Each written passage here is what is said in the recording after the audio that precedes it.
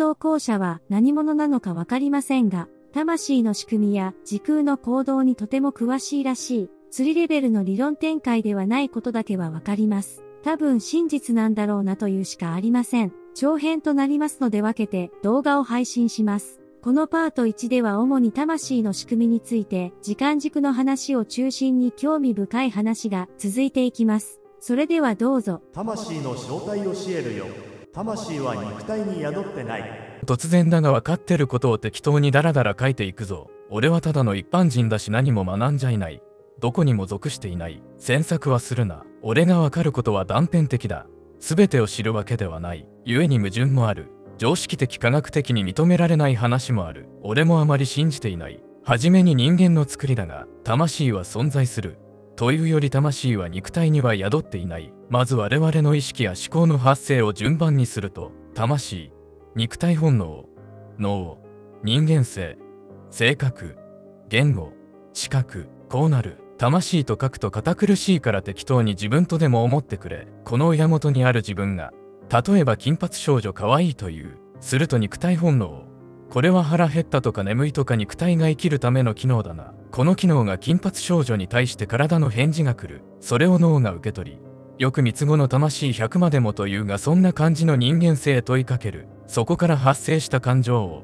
今我々が頭の中であれこれ考えてる部分に代入して思考する。そこに言語を当てはめて、初めて知能が感情を識別するわけだ。ただしこの流れはテンプレートみたいなもので例外がとにかく多いというのもこれら肉体本能や人間性やあるいは脳なんかは個別の機能として独立していて例えば腹が猛烈に減っていると肉体本能型の機能を妨害してでも飯を食おうとするで魂とは何かという話だがぶっちゃけ外世界にいるプレイヤーみたいなもんだもしかしたらこの世界もゲームか何かかもしれんが要は霊界だか天国だか知らんがそこにいる俺らの本体が何らかの理由でこの世界に来ているわけだ。そこでなぜか知らんが肉体を使って修行じみた真似をしている。魔女なのか、宗教だとよく魂の修行だとか、いろいろ適当に言ってるがあながち間違いではない。ちなみに宗教やら宇宙人やら未来人やらが入れ知恵をしているというネタは後で触れる。その外世界にいるプレイヤーつまり我々の本体は別に俺らを支配しているというわけでもなく一致前売買意識を持って動いてる我々そのものだむしろ支配しているのは脳などの肉体なんだが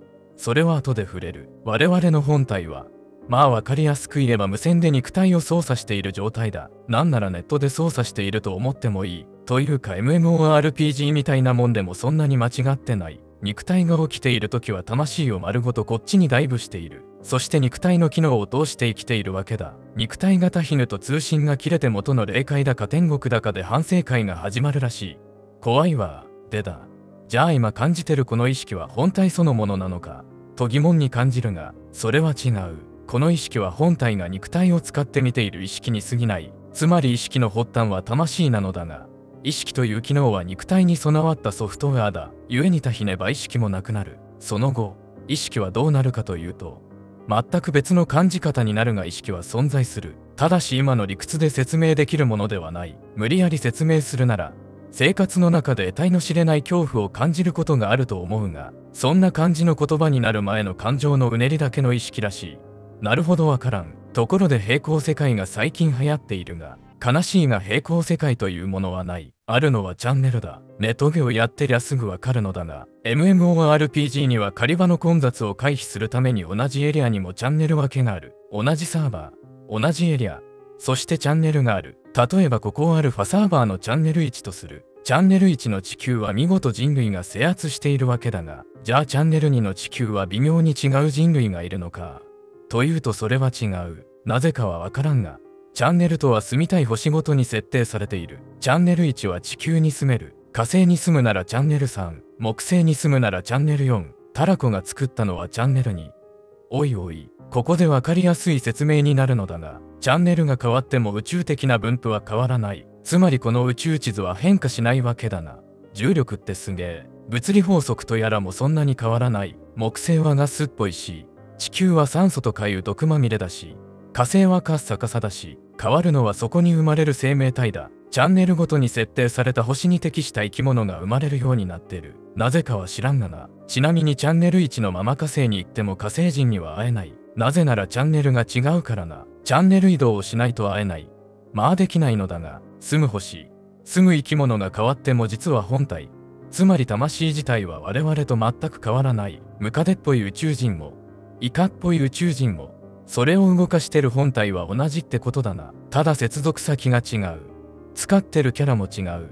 それだけだ。当たり前だが何らかの進化で、いわゆる精神生命体にまでなれたとする。まあならなくてもいいんだが、それ相応の連絡手段ができるようになったとする。そういう連中は肉体ごとチャンネル移動はできないが、意識だけなら別のチャンネルへ干渉ができる。面白い話だが、本体からの接続はぶっちゃけどこにでも飛ばせる。サーバー宇宙そのものが別になるも変えられるし、チャンネルも自由に変えていいはずだ。多分サーバー内の座標も自由に移動できるような気がする。だが上に書いた意識だけ干渉してる連中は、本体、肉体、意識化、チャンネル移動、という順序をたどっている。めんどくさいは、我々の意識や記憶は肉体ベースだから、本体が例えば 10PC くらい同時起動してプレイしていたとしても、別のキャラクターを知覚することは絶対にできない。ただし双子は除く。だが本体は同一なのだから、似たような感情を持っていたりすることはあるし、別チャンネル、あるいは同チャンネルの別キャラの意識を覗き見てしまうこともある。投資やらのエスパーもこの原理を使う。超意識だかなんだか知らんが、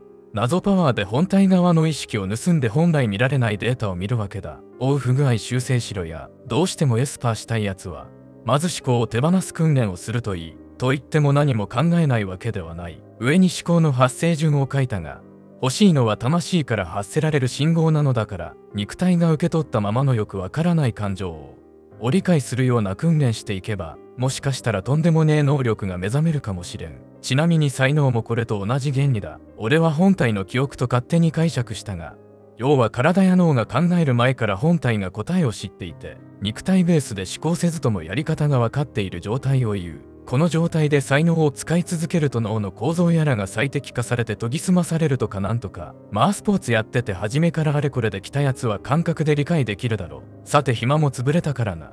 続きはまた今度。そのうちこのチャンネルを支配しようとしてる連中の話とか、その洗脳方法だとか、後物質のままチャンネルを超えようとした話だとか、くだらねえことを書き散らす予定。重ねて言うが俺は分かることしか分からない。分かることは断片的で矛盾もすればめちゃくちゃな話もある。そして俺はそれらをあまり信じてない。あれだ。信じるか信じないかは何とかや。最近重力波観測施設が完成したそうだが、これはそのうち面白い発見をするぞ。何と言っても時間とは一定の波に影響のことだが、その波と重力は関係がある。しかしそれだけでは真相には至らない。結論から言おう。時間とは適当だ。まず我々の心臓だが、これが一つの時間だ。心臓は活動回数が決められているのだが、これを時計の秒針とするなら、生き物によって持っている時計の速さが異なり、それぞれの時間も異なるわけだ。だが心臓の鼓動は重力その他もろもろの影響を受ける。なんたって物理だからな。そう。超重力圏内であったりするとこの秒針に干渉ができる。つまり我々に設定された時計とは、自由に止めたり早めたりできるわけだ。では生きていないものはどうなのか。厳密には生きてないものなどいないらしいのだが、これらを制御する巨大な時計が存在する。それが重力だ。重力にとらわれると我々は活動するにあたって時間を消耗する。では無重力状態なら年を取らないと思うだろうが、それを制御するために我々には心臓や細胞分裂限界値が定められていて、一定時間生きると必ず朽ちるように作られている。他にも我々が無重力と定めている状態が、本当に無重力であるかなど、時間に関する課題は多く、不老不比はまだしも時間速報は極めて困難と言える。さて魂、すなわち我々の本体の話に戻ろう。この世界にはチャンネルが存在するのだが、では俗に言う平行世界と似たチャンネルはあるのか？という疑問だ。言うなればカレーパンを食べた世界観か、メロンパンを食べた世界観か、というやつだな。これは説明が面倒なのだが、結論としてはある。この説明をする前に引き寄せというものを理解し肯定してもらう必要がある。メロンパンが食べたいと願えばメロンパンが食える。というやつだ。未来は念や言霊によって操作ができる。あるいはされているというものだな。まあそんなものはないのだが、引き寄せという能力や機能は存在しない。だがこれの現象ならば起こるようになっている。本体から何らかの操作を受けたり、あるいは本体に強い念を送り続けると、我々個々の範囲内であれば過去または未来を改変できるわけだ。つまり、実はこの世界の因果率など無秩序だと言える。改変といってもある日突然豪邸に住んでたりするようなものは起きない。それに一人が強く念じたところで偶然起こるほど都合の良いものでもない。これは呪いだとかそういうオカルトな類にも言えることだが噂話などの電波などで実現しやすくなることから集団による引き寄せ効果が現れやすい。急にオカルト臭くなったがこれは我々が感知していないだけでなかなか頻繁に起こっているらしい。ただしこの現象はある事柄のついでに起きているだけであって我々が引き起こしているわけではないのだ。これが引き寄せという能力。機能はないが現象はあるという意味だ。まあ詳しくは後で説明したいのだがとりあえずはちょっとした事情で世界的にそんないかがわしい現象が起きているとだけ思ってくれればいい。勘のいいやつはある有名なスレを思い浮かべたと思うがあれも集団引き寄せを狙ったものでまあいろいろあるわけだ。その引き寄せ現象の際に過去や未来が部分的に変化する肉体に依存する記憶は置き換えられているため我々が変化に気づくことはないこれらの物事が一つのチャンネル内で起こるのだがその際に平行世界がどうとかそういった話になってくるがまず変化に気づかないのだから我々の視点では平行世界はないということになるな。なぜ気づかないのか。それは記憶というものが脳に依存するからだ。記憶自体は魂にもあるのだが、これは記憶というより夢のようなイメージと思ってくれていい。なぜか幼い頃からよく見る夢があると思う。それが魂が持つ記憶だ。当然理解できないだろうからあまり気にしなくてよい。それに一度脳が感知すると、脳にある記憶が近しいものを当てはめようとしてイメージが変化するからどの道気にしても無駄ださて平行世界はないと言ったがでは本当にリーディングしたいないアトラクタフィールドがないのかというとあるまず魂に記憶があると言ったが魂が脳の記憶を一時的に覚えていることもできる従って何らかの事故である日突然別の世界に行ってしまったとしようすると初めのうちは前の世界の記憶がなんとなく残っているため違和感がある。しかしすぐに新しい世界の脳が適応するため日常生活に戻れるわけだ。まあこんなケースはほとんどないからな。ないと思う。ないといいな。さてこの話をすると次元のおっさんを想像するやつもいるだろうな。次元のおっさんは知らんが、似たようなシステムは存在するはずだ。我々の自我には識別番号みたいなものがある。例えばに 10PC 同時操作してる魂があり、俺はそのうちの一つとする。俺には適当な番号が振られ、それは接続しているサーバーやチャンネル、そして肉体と紐付けされる。これにより間違った接続があると遮断し、本来あるべき場所へ正しく接続されるわけだ。さすがに仕組みまではわからんが、これは何者かが管理している。というよりは我々一人一人が自発的に言っているものらしい。まあそれを感知はできないだろうが、リーディングしたいな。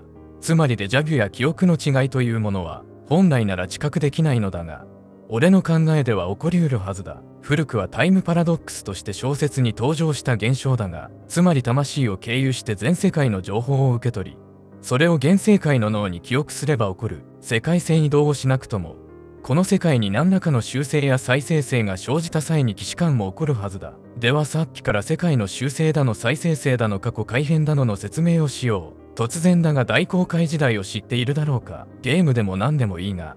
この時は先進国が発展途上国を支配し人間を奴隷として扱っていた。そしてこのチャンネルは発展途上国だ。チャンネルごとに生き物が生まれる星が存在すると説明したと思う。ではなぜ生き物が生まれるのかというと宗教臭くなるが魂の修行をしているわけだ。まあ本当は違うのかもしれんが俺の考えでは俺らこそが寄生生命体か何かではないかと思っている。生き物は必ず進化し必ず肉体を捨て必ず精神だけで活動ができるようになる。というよりは次第に感覚が研ぎ澄まされていき肉体や脳を使わずとも魂の意志を感じ取れるようになる。こうなると念じるだけで楽しい気分になったり願えば満腹になったり脳内ポットだったりする幽霊みたいに思うだろうが実際は魔法そのものみたいな生き物だ。ここまで来ると意識だけだがチャンネルの切り替えや移動ができる。つまり、魂、サーバー、チャンネル、個体、別チャンネル。という接続が可能だ。どこぞのスピリチュアル集団はこれをアセンションと呼んでるがよくわからん。さてこのチャンネルは発展途上国と言ったな。つまり別チャンネルからの侵略を受けている状態だ。侵略といっても、チャンネル移動ができるレベルの生き物は戦争ごっこなど戦士、どちらかというと朝廷を行おうとする善意に満ちた連中だ。では何者が侵略するのか、それを説明しようと思ったが、その前に今度は時間軸についての説明をしないといけない。時間は俺も理解していないからものすごく簡単に言うとアニメのように好きな時間帯を選んで鑑賞できる。そして鑑賞に応じた変化が生まれ世界は常に改変され続けている。で時間が一定の流れで積み重ねだと思っているとこれがとんでもないパワーがあると感じてしまうから時間がただの場所だと思ってくれていい。例えば2015年に車が空を飛ぶ。と歴史改変を行ったとする。もちろん2015年以降は車が空を飛ぶようになるし2015年以前もその年までに車が空を飛べるような過去に改変されていく。でこの一連の流れを水の波紋のようなものだと思ってほしい。決して因果率を保つために世界が調整されていると思ってはいけない。それは小説の読みすぎだ。ぶっちゃけ物質保存なんてないし因果は無視しまくりだ。ただ変化がある。その変化がまるで秩序をもって因果率を成しているように見える。だがやろうと思えば因果を無視することもできる。因果を守ることは目的ではない。それが時間軸だ。では未来から過去へ波紋があるのなら時間を無視して発達しまくって俺らも今すぐスーパー SF の世界へこんにちはだと思うだろう。そうはいかない。なぜなら時間軸を超えられるのは非常に極めて稀な例だからだ。それじゃあ改変され続けてるのはおかしいって。そう。時間軸を超える干渉は稀だがそれとは別のやり方で干渉ができる。それが前に話した引き寄せだ。魂の念がチャンネルへ干渉資格を改変する。詳しく説明できなくてすまんが本当に本体からの祈りや願いあるいは呪いがこの世界へ形となって現れるようになっている。つまり真に念じれば自分の手の届く範囲だが世界を変えられるわけだな。と言っても頭の中で美形になりたいとか金が欲しいとか幼女に好かれたいとか考えても無駄だ。言語化されない現象の感情として念じなければ魂へ届かない。魂はそんなこっちの世界の都合なんざ知ったこっちゃねえんだしこっちから要求を送ってやらないと気づいちゃくれねえわけよ。まあそのやり方は個人で色々あるんだがあまりやらない方がいい遊びだ。この魂への要求ってのは言うなればチートコードとかコンソールコマンドとかそういうものだ。よくタットワのなんとかとか。幽体離脱がどうとかネタになってるがあれらの中には冗談にならんものもあるからこの世界が好きならやらんようにでだその念じる能力で身近な世界が変化できるのだがこれが起こるときそういう未来を引き寄せるというよりはその未来になるための過去に書き換えたと考えると分かりやすい。だから過去改変と俺は言う。この時に時間軸に波紋が起こる。もちろん個人単位だから小さいものなんだが例えばムキムキマッチョマンの変態になったとしたら当然ムキムキマッチョマンの変態になる過程があるのだから知人はその経緯を知っているように変化するかもしれんなスポーツジムに通った過去があるかもしれんし家には BL 雑誌があるかもしれん。これが過去改変だ。もちろん周りも本人も気づかない。なぜなら脳の記憶単位で変化があるから気づけるわけがない。俺の考えではこの時既視感があるのだと思っているがどうなんだろうな。さてとここまで説明すればほとんど正解を言っているようなもんだなズバリ侵略とは我々の意識を操作して世界全体の改変を狙うものだ。そして別チャンネルからの侵略者がいるとすれば、それは完全に精神活動レベルには達していない。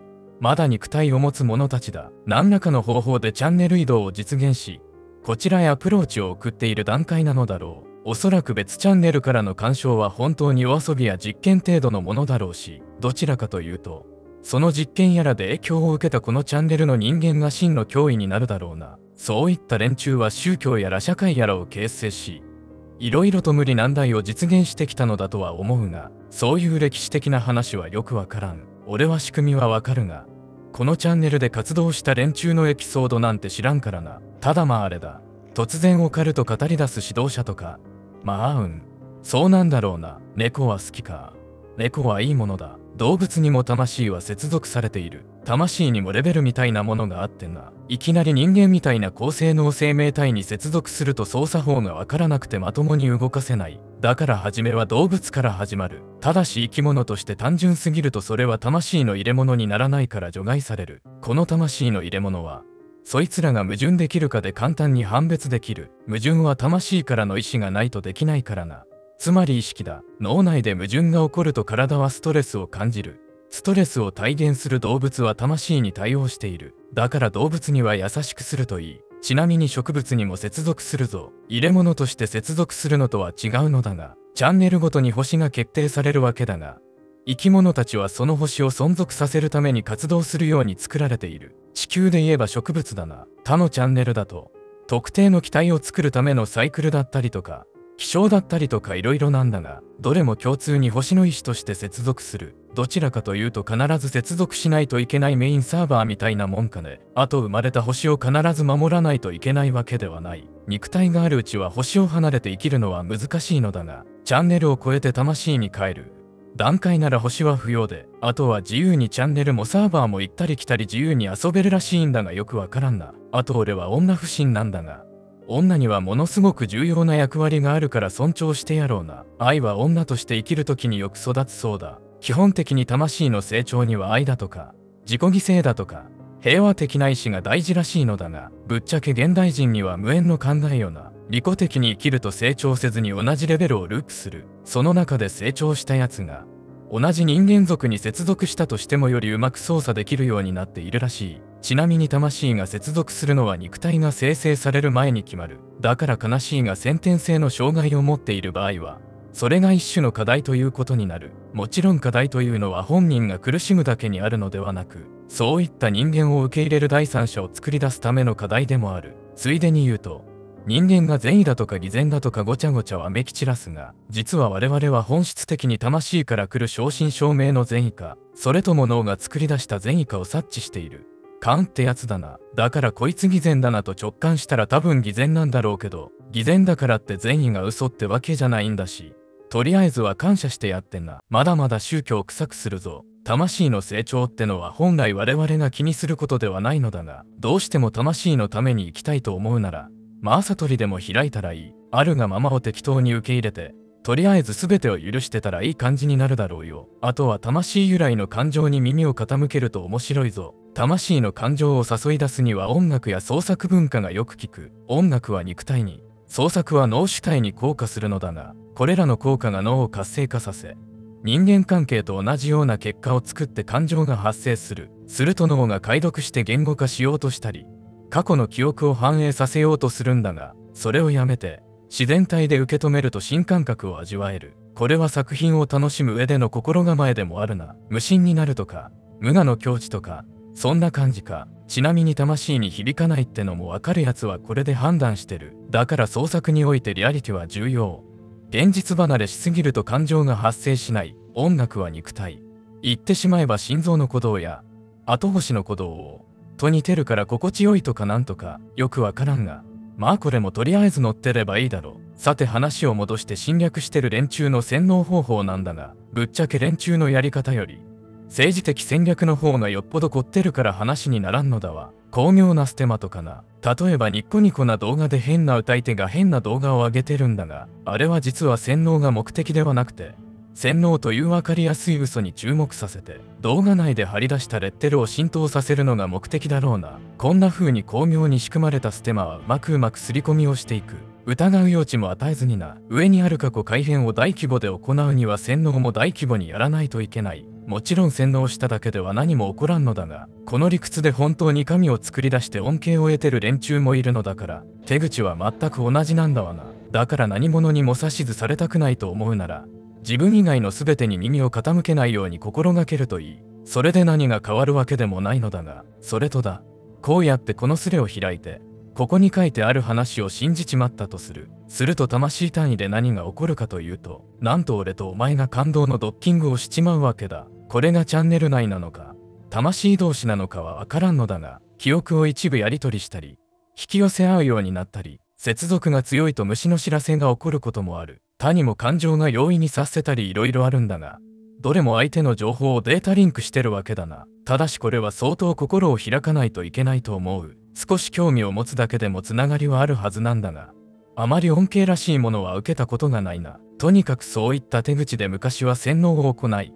宗教したり社会を作ったりしていたそうな。そこで出てくるのが言語だ。そう言葉だ。我々人間は言語を生み出す。これは無二有を与える人間独自の知恵で、科学的には高等な知恵みたいに思われがちだが、原理的には猫の匂い付けと変わらん。問題は言語だ。これは魂から発生する感情に言語という分かりやすいモチーフを当てはめることで、一種の洗脳を施してしまおうというものだ。例えばこのスレを開いて、暇なニートが気持ちはリーザレゴとほざいてるよと嫌悪感を抱いたとする。この時、お前は嫌悪感を抱いたわけだが、じゃあ嫌悪感ってなんやねんということだもちろん言語としての意味ではなくその時発生した感情は本当に嫌悪感なのかというもの。そしてその感情が嫌悪感である証明はどこにあるのか保証は誰がするのかそもそも嫌悪感が該当する感情とは何かさあ嫌悪感についてわからなくなっただろう。お前は次に似たような感情を抱く時またそれが嫌悪感なのかと疑問に感じる。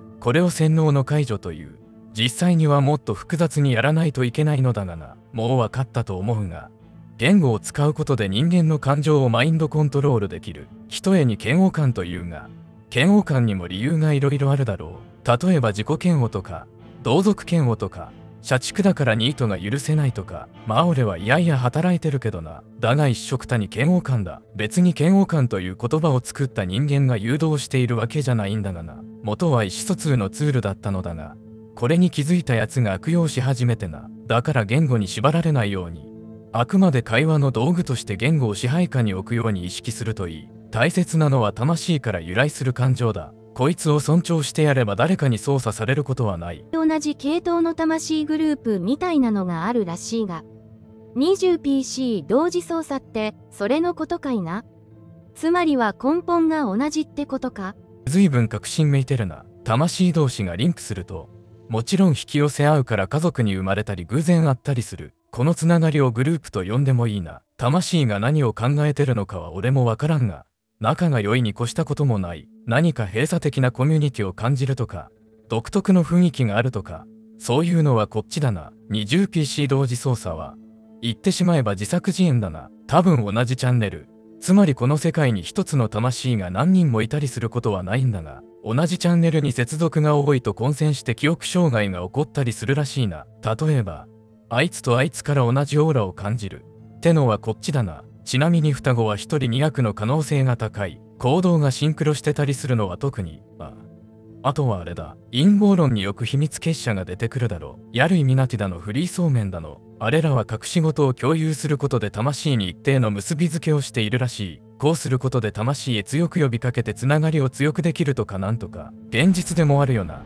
恐怖政治も似たようなもんじゃないかね。こうなると同じ系統のグループとして見えるかもしれない。つまり同じ魂グループってのもいろんな形があるんだな。例えば魂の成長具合が似てるとか。俺が知る限りでは魂をカテゴライズするシステム地味たものは知らない。おそらくそこまで機械的な区分けはないとは思うのだが。脳障害系の病。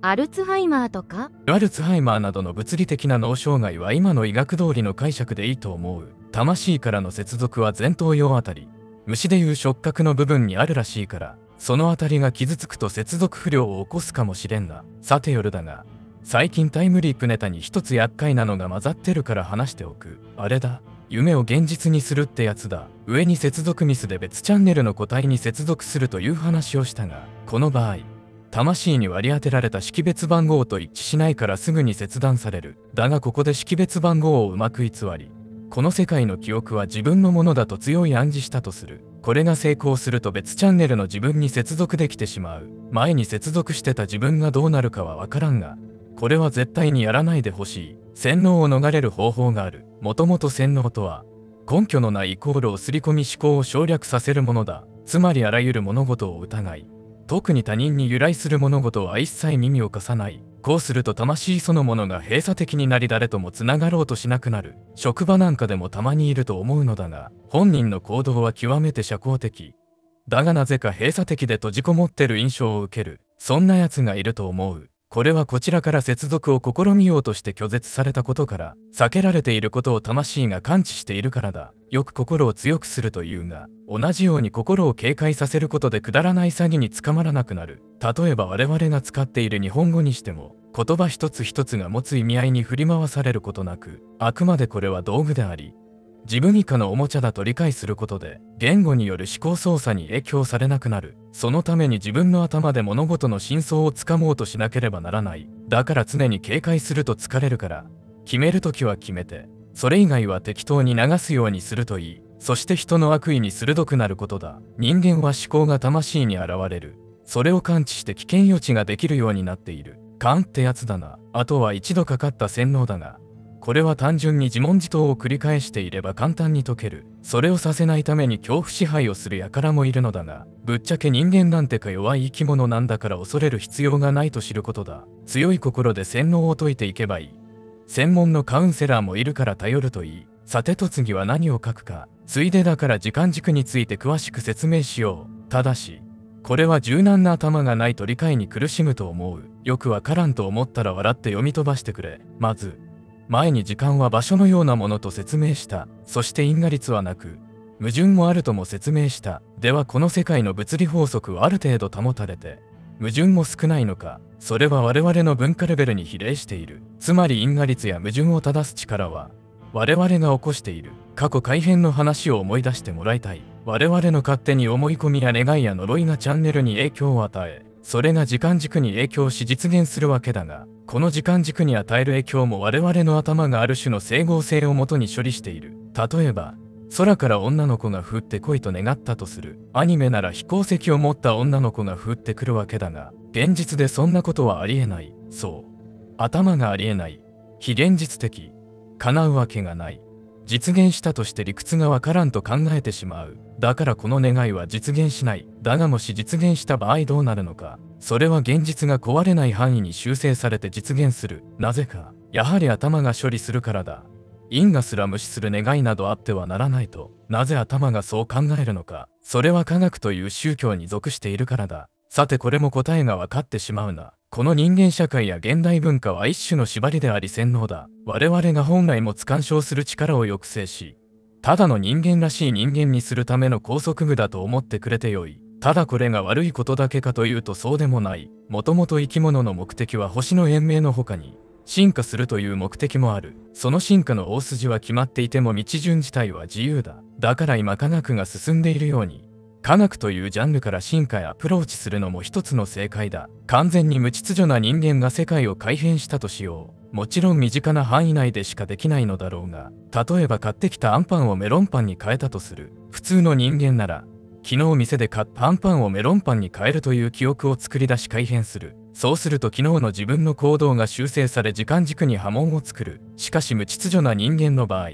この現実的な修正が起こらないつまり目の前にあるアンパンが突然メロンパンに変異する。それも一切の理屈なしで急に変化する。本当にそういうことができてしまうのが我々の本体が持つ能力だ。さてでは頭の体操をしたところで時間軸の話に戻ろう。さっきから波紋波紋と言っていたが時間軸とはズバリ地図のようなものだ。いや日本人なら巻物みたいなものとでも言うべきか。過去から未来へ続く一枚の枝では想像してほしい。1995年にポケモンが大ヒットしたわけだが例えば開発者が名前をのケモンに過去改変したとする。すると1995年に一つの波紋が起こる。それは1995年から過去から未来へと時間の流れを無視して起こるわけだ。ただし時間の流れ自体はあるのだから我々の視点では過去から未来へ波紋が起きてると錯覚する。ここでさらにいやいやのケモンではなくポケモンという名前なのだ。と思う一人の開発者が上書き改変したとしよう。すると一度波紋が浸透しのケモンになったところにもう一つの波紋が生まれのケモンがまたポケモンへと改変されていくのだ。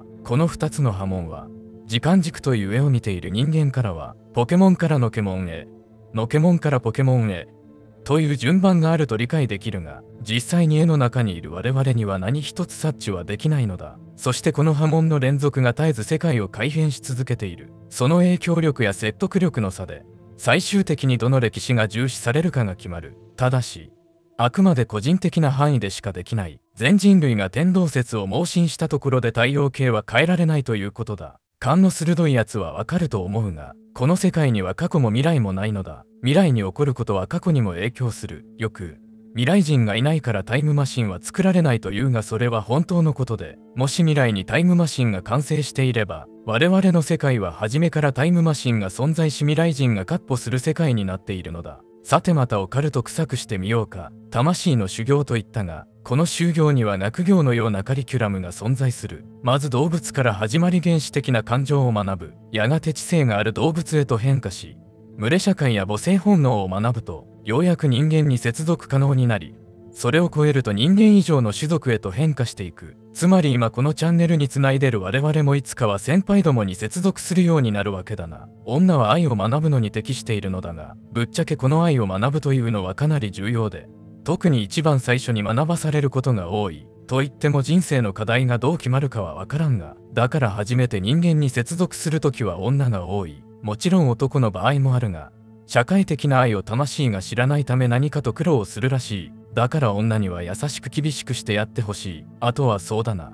前に説明したチャンネルを切り替える。つまり接続先を変えるやり方だが冗談抜きでヤバいものもあるから警告を兼ねて説明しよう。まず神を作る行為だ。宗教なんかでもそうだが神も当然作れる。ただし本物の神を作ることはできない。あくまで信者の過去改変によって神が存在しているように見せかけているだけに過ぎない。当然信者がゼロになれば神も消えるだがこの行為信者本人にとっては影響が強く精神に異常をきたしたり情報処理のリソースを割くことから日常生活が困難になるほどのを使いすぎたりする。イマジナリーフレンドなんかも同じ理屈。集中力の欠落にもつながり。仕事効率も下がるためほどほどにしてほしい。ちなみに頭の中で音楽が止まらないのも同様だな。次に同じ光景や風景を連続させて空間認識を曖昧にすること。つまりどの方角を向いても同じ風景とか。あとは合わせ鏡なんかがまずいな。これは脳が混乱することで魂の接続も曖昧になり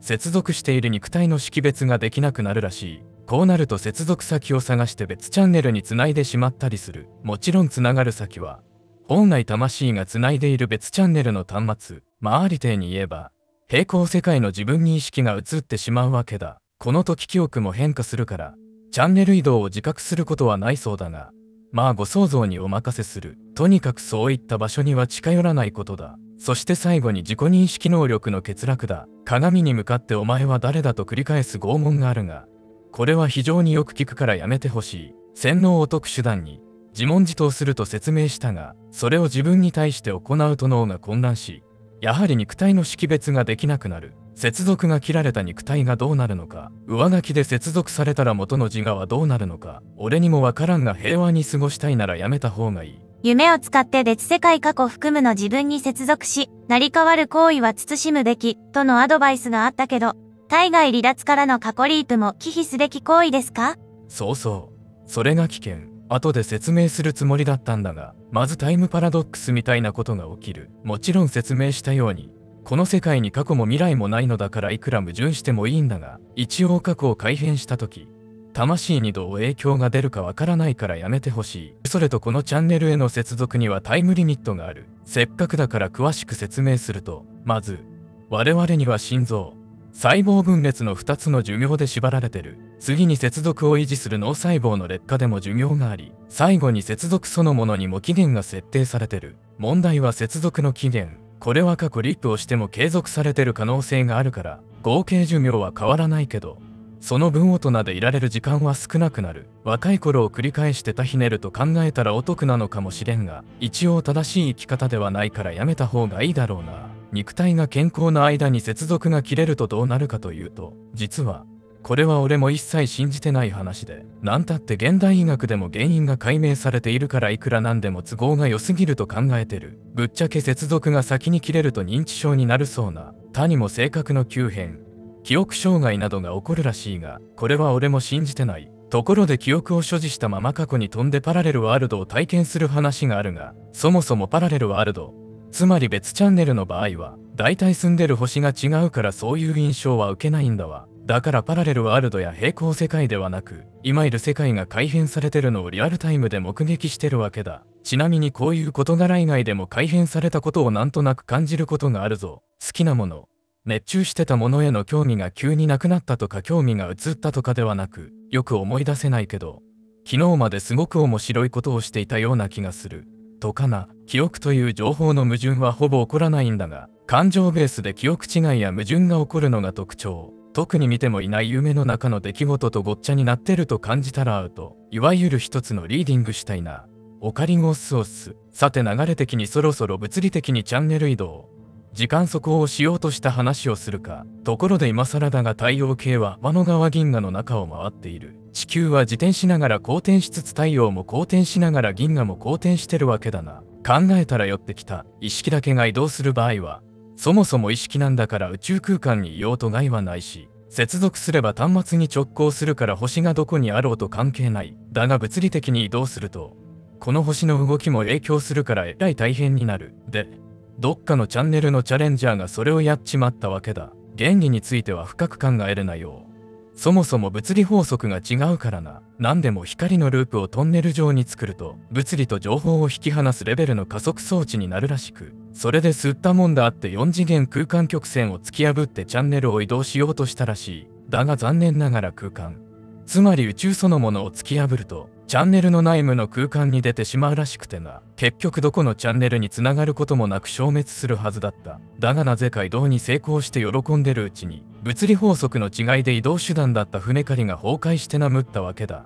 まあ俺も何が何やらわからん話なんだが、俺が気にしたのは4次元の存在と、物理法則にもローカルルールと、親ルールがあるってことなんだわ。まず4次元と言われて俺もわけわからんかったが、というか別に4番目の次元である必要もないんだろうな。うまく説明できないからかいつまんで書くと、今我々が見ている3次元空間には、座標ごとにプラスとマイナスの属性がつく。そのプラスマイナスがつくと、空間に見えない凹凸が生まれる。これはどの角度に曲がるとか、どの方向にへこむとかの問題ではなく、そういうのとは別の新しい発想だと思った方が正解に近いと思う。そのプラスマイナスが空間を突き破る力なんだとか、直接関係はないが重力ともつながりがあるとかなんとか、この歪みは重力波に影響を与えるそうなんだが、スケールが大きすぎて観測は無理なんだと、この4次元のイメージをするときに、宇宙空間には見えない山や、平地があると浮かんだのだが、そっちの方がわけわからん。で、